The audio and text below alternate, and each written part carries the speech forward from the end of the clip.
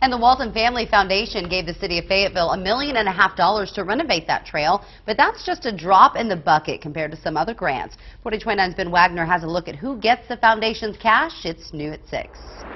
From 2007 to 2012, the foundation has taken in more than a billion dollars each year. In fact, in 2012, the most current tax info available, it made $1.5 billion. In Arkansas, the group gave away a little more than $30 million that year.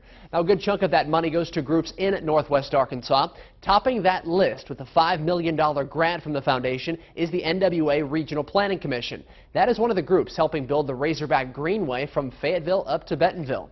The Walton Family Foundation also donated a million dollars to a trust helping to fund the Jones Center. Now, the money from Mount Kessler is a matching grant. They put in a million and a half, and the city of Fayetteville puts in the same for a $3 million total project. I'm Ben Wagner.